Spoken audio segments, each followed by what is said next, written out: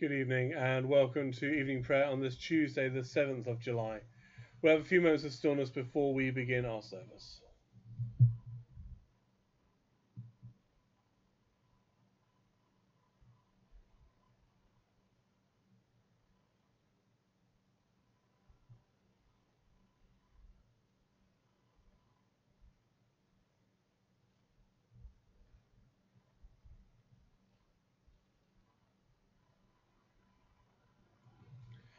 God, make speed to save us.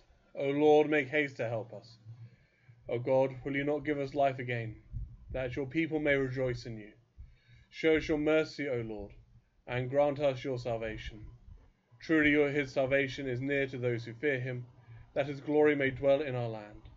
Mercy and truth are met together. Righteousness and peace have kissed each other. Truth shall spring up from the earth, and righteousness look down from heaven. Righteousness shall go before him, and direct his steps in the way.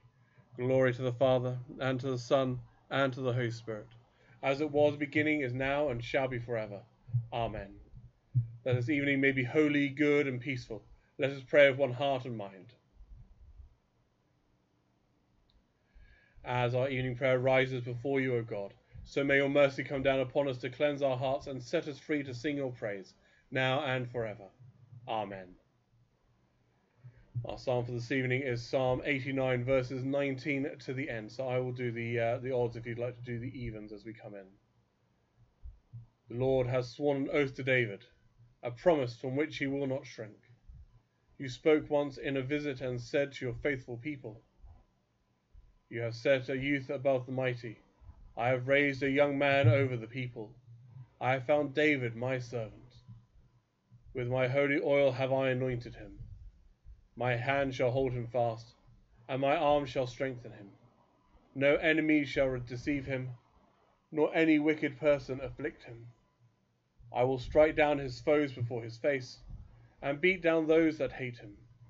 My truth also and my steadfast love shall be with him, and in my name shall his head be exalted.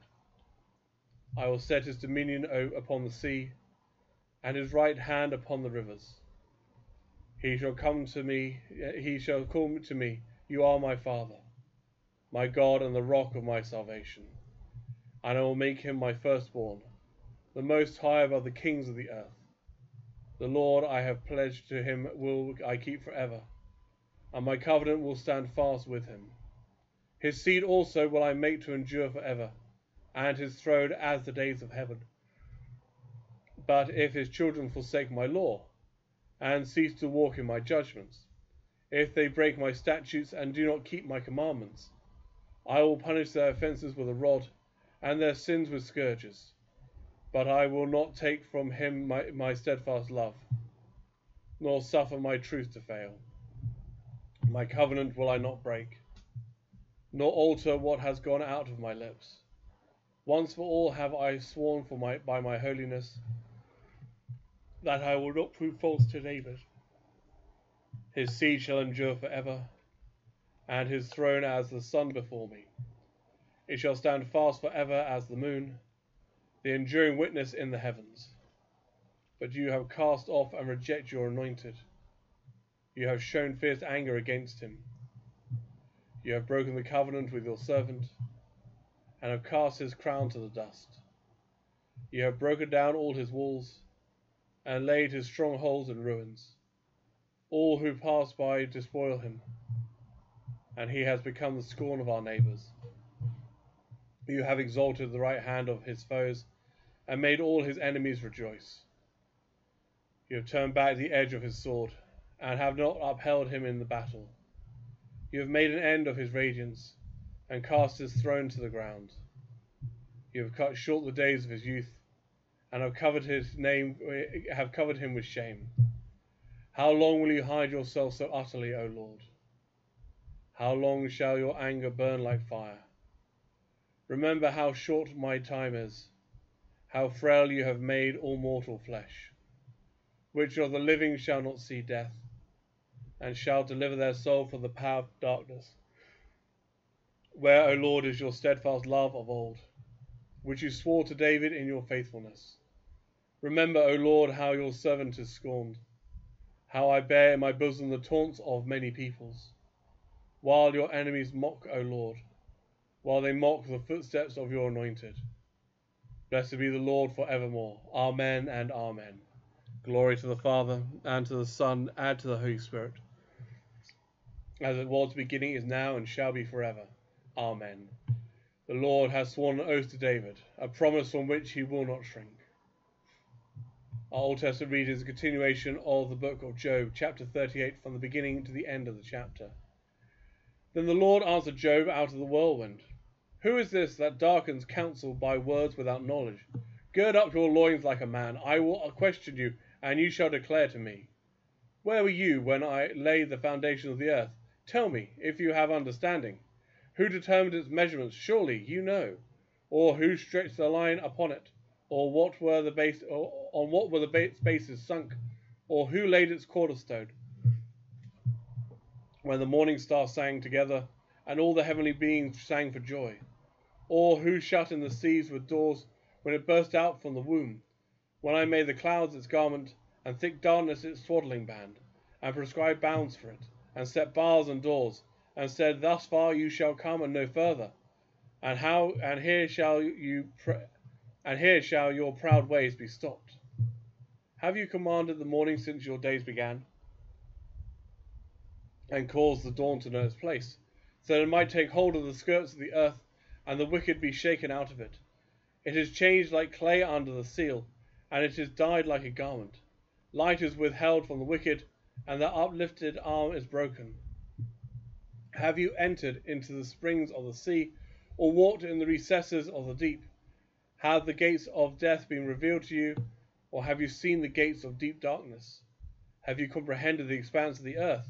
Declare, if you know all this. Where is the way to the dwelling of light? And where is the place of darkness? That you may take it to its territory, and that you may discern the paths to its, its home.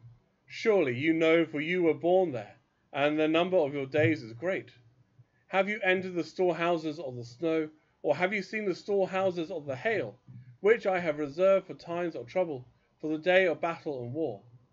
What is the way to the place where the light is, is distributed? or where the east wind is scattered from the earth? Who has cut a channel for the torrents of rain, and a way for the thunderbolt, to bring, a to bring rain on a land and where no one lives, on the desert which is empty of human life, to satisfy the waste and desolate land, and to make the grounds put forth grass?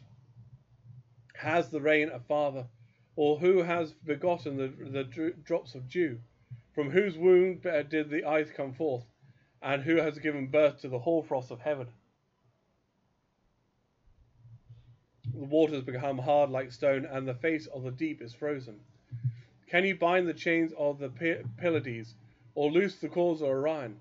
Can you lead forth the Mazzaroth and in their season, or can you guide the bear with its children? Do you know the ordinances of the heavens? Can you establish their rule on earth? Can you lift up your voice to the clouds, so that a flood of water may cover you? Can you send forth lightning so that they may go and say to you, Here we are? Who has put wisdom in the inward parts or given understanding to the mind? Who has the wisdom to number the clouds? Or who can tilt the waterskins and of the heavens, when the dust runs into a mass and clods cling together? Can you hunt the prey for the lion, or satisfy the appetite of young lions, when they crouch in their dens or lie in wait in their covert? Who provides for the raven its prey, when its young ones cry to God and wander about for lack of food. This is the word of the Lord. Thanks be to God. I saw the holy city coming down out of heaven from God. I saw a new heaven and a new earth, for the first heaven and the first earth had passed away, and the sea had no, was no more. And I saw the holy city, New Jerusalem, coming down out of heaven from God, prepared as a bride adorned for her husband. And I heard a great voice from the throne saying, Behold, the dwelling of God is among mortals. He will dwell with them, and they shall be his people, and God himself will be with them.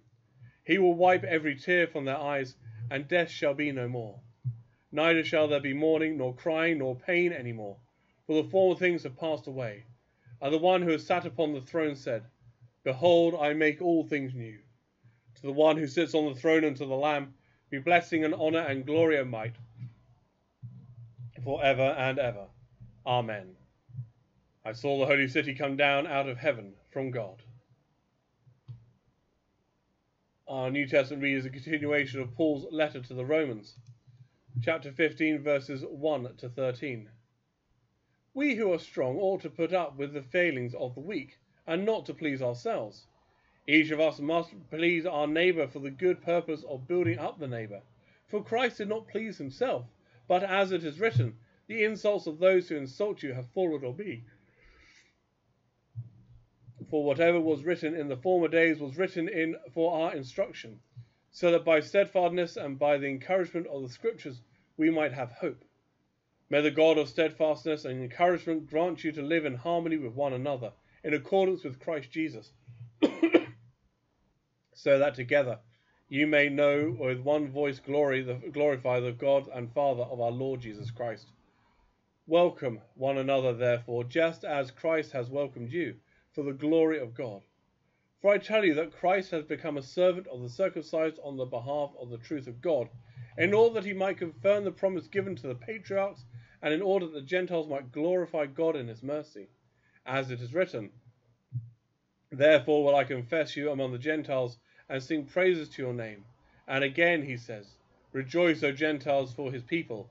And again, praise the Lord, all you Gentiles, and let all the peoples praise him. And again, Isaiah said, The root of Jesse shall come, the one who ri- ri- rises to rule the Gentiles. In him the Gentiles shall hope. May the God of hope be with, fill you with all joy and peace of believing, so that you may abound in hope by the power of the Holy Spirit. This is the word of the Lord. Thanks be to God. Open my eyes, O Lord, that I may see the wonders of your law. Open my eyes, O Lord, that I may see the wonders of your law. Lead me in the path of your commandments, that I may see the wonders of your law. Glory to the Father, and to the Son, and to the Holy Spirit. Open my eyes, O Lord, that I may see the wonders of your law. You have mercy on those who fear you, from generation to generation. My soul proclaims the greatness of the Lord. My spirit rejoices in God my Saviour. He has looked with favour on his lowly servant. From this day all generations will call me blessed. The Almighty has done great things for me, and holy is his name. He has mercy on those who fear him from generation to generation. He has shown strength with his arm, and has scattered the proud in their conceit. Casting down the mighty from their thrones, and lifting up the lowly. He has filled the hungry with good things, and sent the rich away empty. He has come to the aid of his servant Israel, to remember his promise of mercy, the promise made to our ancestors, to Abraham and his children forever. Glory to the Father, and to the Son, and to the Holy Spirit, as it was the beginning, is now, and shall be forever. Amen. You have mercy on those who fear you, from generation to generation. So let us pray. Heavenly Father, we give thanks for the day that has been. We thank you for being with us in all that we have done and said. We thank you for being with us in all that we have shown to others and done for others. As we come to the evening, be with us, guide our thoughts and our prayers, that we may rest in peace and rise in the morning to give you thanks. Lord, in your mercy, hear our prayer. Merciful Father, we pray for those who have been affected by the coronavirus. We pray for those who are in self isolation. We pray for those who are in quarantine. We pray for those who are shielding. We pray for all who are in hospital.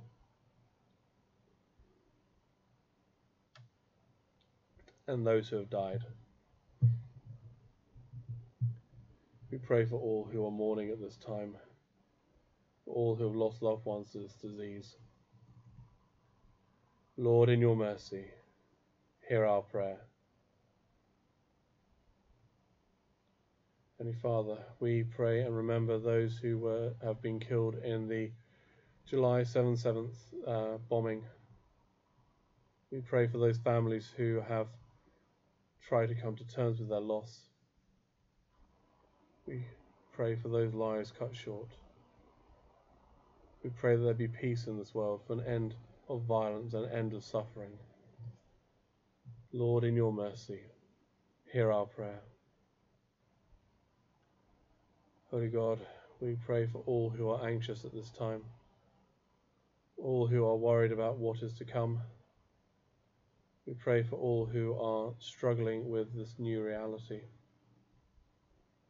We pray especially for those who are suffering from mental health issues, for those who are struggling with the isolation, for those who have lost their jobs,